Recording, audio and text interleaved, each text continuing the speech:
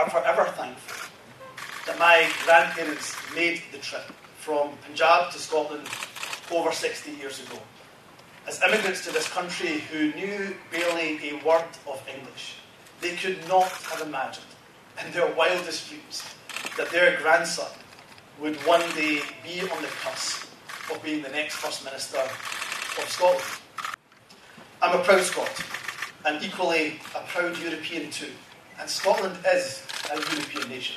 We want to return to the European Union and play our part in building a continent that's based on human rights, on peace, prosperity, and social justice. Joining the SNP for me was an act of hope, but it was also a statement of intent. I was determined then, as I am now, that we will deliver independence.